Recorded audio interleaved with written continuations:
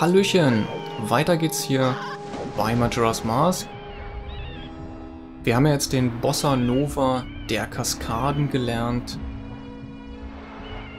Den müssen wir jetzt vor Lulu spielen.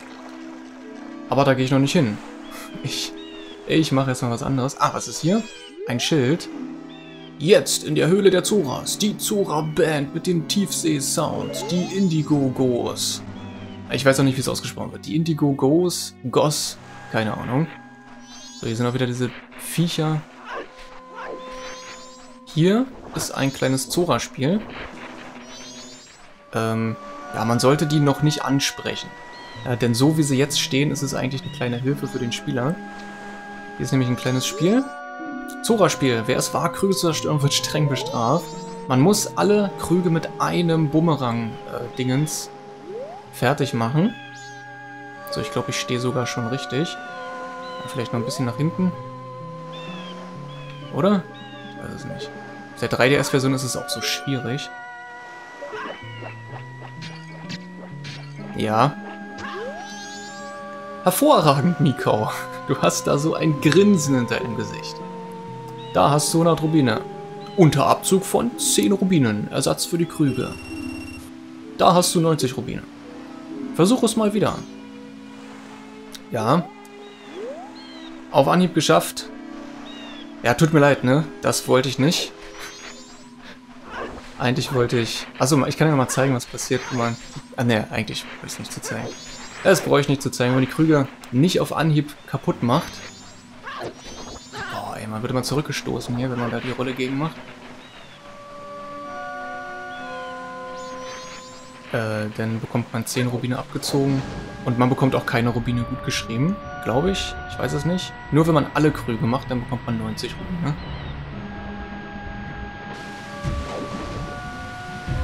Oh, Mikau, was soll das?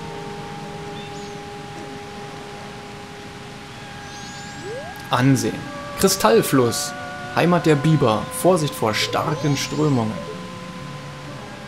Ja, wo kommt denn das her? Karte ist von oben.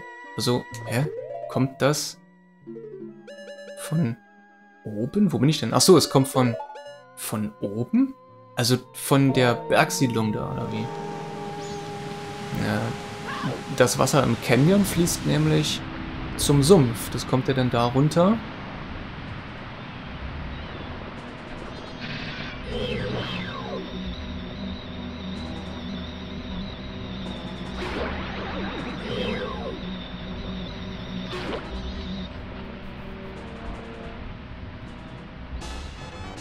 Du hast ein Herzteil gefunden.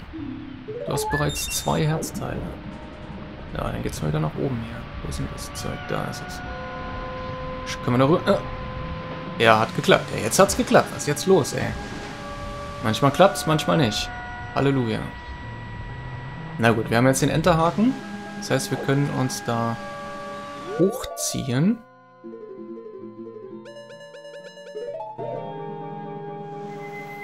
Jetzt hat er sich umgedreht.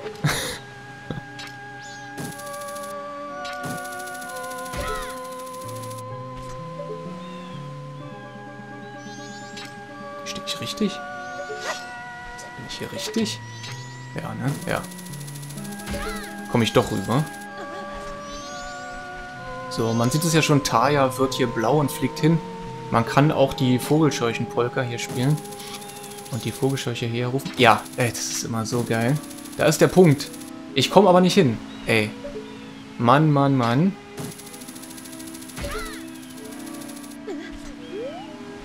Sind 20 Rubine drin. Brauche ich nicht. Ey, ich muss nach oben.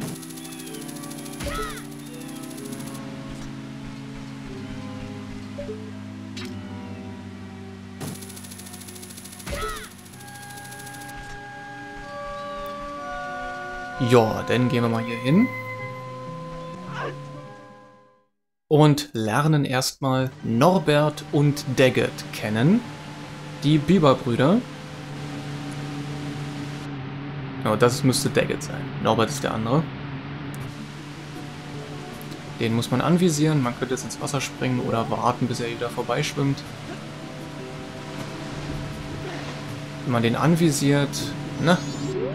Also man kommt hier ja auch schon... Kommt man hier schon vorher hin? Hier kommt man gar nicht vorher hin, ne? Das ist eigentlich eine Sicherheitsvorkehrung von den Entwicklern, dass man dieses Spiel erst machen kann, wenn man die Zora-Maske hat. Aber die Zora-Maske braucht man ja, um den Enterhaken zu bekommen. Also es ist ziemlich merkwürdig, dass man hier so eine Sicherheitsvorkehrung drin hat. Du schon wieder. Du kannst mich durch deine grüne Kleidung nicht täuschen. Ja, ja, ich kenne dich schon. Wir haben, wir sind uns schon mal begegnet. Du willst doch eine leere Flasche. Quiek, quiek, quiek. Okay, ich gebe dir eine. Aber zuerst musst du in weniger als zwei Minuten durch alle Ringe im Fluss schwimmen. Na, wie ist das? Ah, klar. Insgesamt gibt es 20 Ringe. Du musst in der richtigen Reihenfolge hindurchschwimmen. Bla bla. Ich zeige dir den Weg.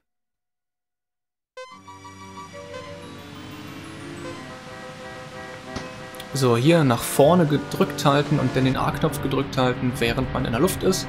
So schwimmt man nämlich gleich los. In der 3DS-Version ist es ein bisschen dämlich, da ist die Steuerung nämlich äh, äh, äh, spiegelverkehrt. Da muss man erst in den Einstellungen hoch mit runter vertauschen, äh, damit man wieder die normale Steuerung hat, wie man es aus der N64-Version kennt. So, dieses Spiel muss ich jetzt nicht nur zweimal machen, also ich muss gegen, gegen den einen Biber-Brüder hier, Biber-Bruder, antreten. Ich muss gegen den anderen Biber auch noch antreten. Und das muss ich zweimal machen. Also ich muss insgesamt viermal schwimmen. Und dann bekomme ich eben auch noch das Herzteil dafür. Oder Herzteil? Ich weiß nicht. Herzteil oder was anderes. Ich glaube, es war ein Herzteil. Ja, es war ein Herzteil. So, aber ich werde es, glaube ich, nur einmal zeigen, damit man sieht, wie es aussieht. Das zweite Mal ist ja genau dasselbe nochmal. Ja? Und deswegen werde ich es, glaube ich, nur einmal zeigen.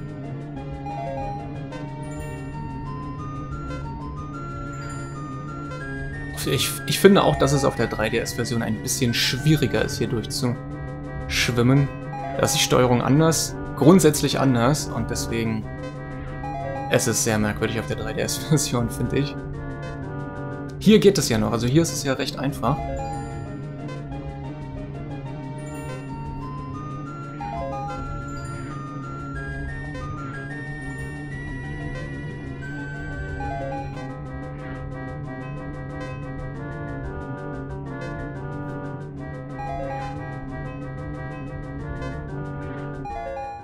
Zack, und fertig.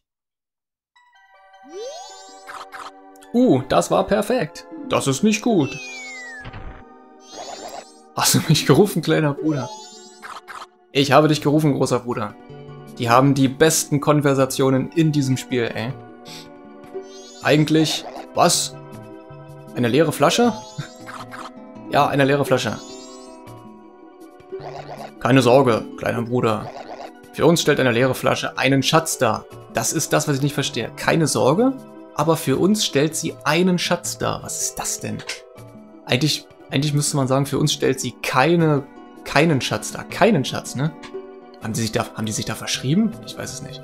Nur weil du meinen kleinen Bruder besiegt hast, kann ich dir diese Preziose nicht einfach überlassen. Nicht einfach überlassen. Du sollst sie haben, wenn du auch gegen mich antrittst. Willst du es versuchen? Natürlich. Die Regeln bleiben unverändert. Ja, aber diesmal warten 25 Re Ringe auf dich. Also, die Regeln heißen ja, durch 20 Ringe durchzuschwimmen. Und die bleiben unverändert. Aber ich verändere trotzdem mal die Regeln. Und erhöhe auf 25 Ringe. Ah, na gut, dann machen wir es wieder mal. So, auch hier wieder nach vorne gedrückt halten und während man im Sprung ist, den A-Knopf gedrückt halten, dann schwimmt man sofort los. So, hier sind jetzt ein paar fiesere Ringe mit bei. Bei manchen springt man dann so aus dem Wasser. Oder da sieht es so aus, als ob man da gezwungen wird, aus dem Wasser zu springen. Man muss aber nicht aus dem Wasser springen. Man ja gerade gesehen beim letzten, beim letzten oder vorletzten Ring da vor diesem Biberbau. Man kann aber aus dem Wasser springen, wenn man sich nicht so sicher ist.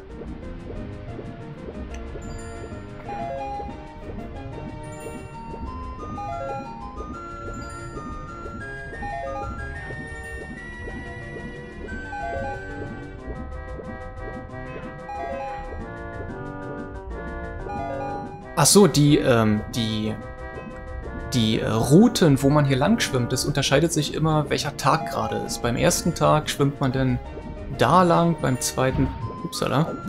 Beim zweiten Tag schwimmt man dann woanders lang und beim dritten Tag schwimmt man auch wieder woanders lang. Also die Routen unter... Darum sind hier immer so eine, so eine Holzbarrikaden da. Bei manchen, bei manchen Gängen, damit man in, in die Gänge halt nicht reinkommt. Die verändern sich dann je nach Tages... Ja, je nach Tageszahl. Welcher Tag ist. Welcher Tag gerade ist.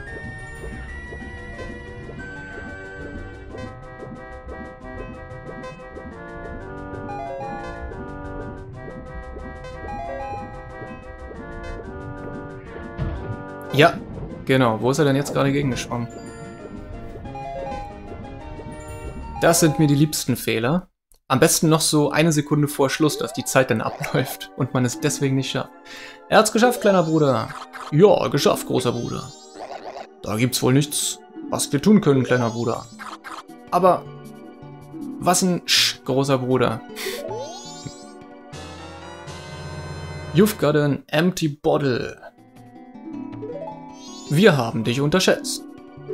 So, und jetzt muss man, wenn man das Herzteil haben muss, dann darf man hier nicht rausgehen. Ja, man muss jetzt hier drin bleiben und mit den Biberbrüdern nochmal sprechen. Er ist wieder da, kleiner Bruder. Ja, wieder da, großer Bruder. Aber wir haben gar keine leeren Flaschen mehr, kleiner Bruder. Nein, keine Flaschen mehr, großer Bruder. Aber wenn du trotzdem gegen mich antreten willst, geht es in Ordnung. Was hast du vor? Ich will schwimmen.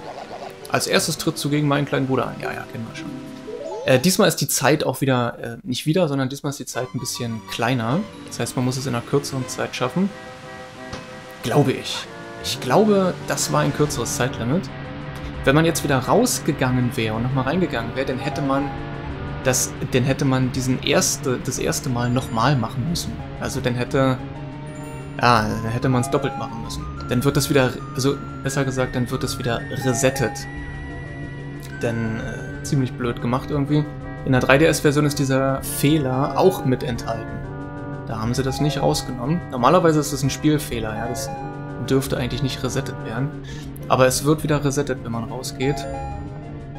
Also, dass man das erste Mal zweimal gegen diese Biberbrüder gewonnen hat, das wird wieder resettet, wenn man rausgeht aus diesem, aus diesem ähm, aus diesen Stromschnellen hier. Und deswegen muss man die direkt danach nochmal anquatschen, bevor man hier wieder rausgeht, damit man das dann auch hinter sich hat.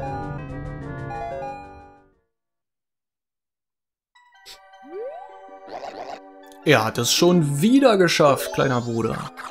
Wieder geschafft, großer Bruder. Schäm dich, kleiner Bruder. Jetzt bin ich dran. Was wirst du tun? Lass uns schwimmen. Das Zeitlimit bleibt nach wie vor 1,50, aber diesmal musst du 25 Ringe treffen. Fall nicht zurück. Oh. Das ist immer nervig, wenn man da irgendwo gegenkommt. Ja, meistens...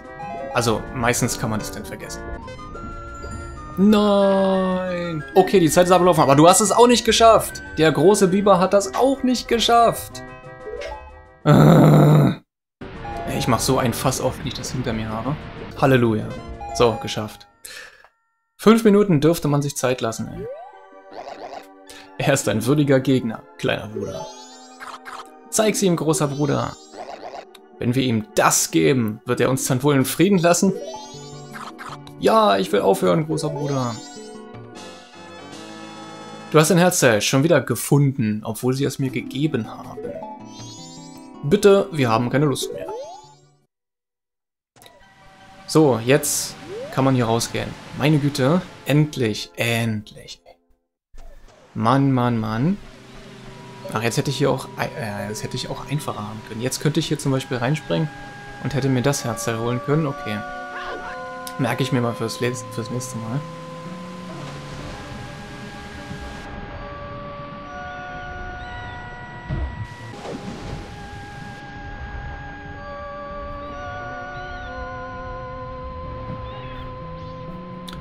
Ja, jetzt schwimmen wir mal zu, zu den Zoras.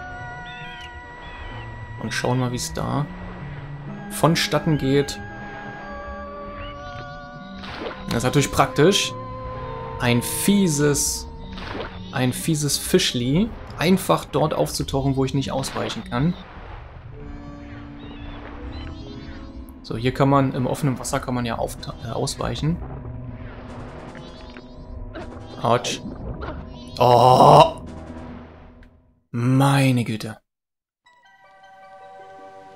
Endlich drin. Halleluja. Höhle der Zoras. Und da oben steht auch noch ein Zora. Da sieht man nur den Kopf.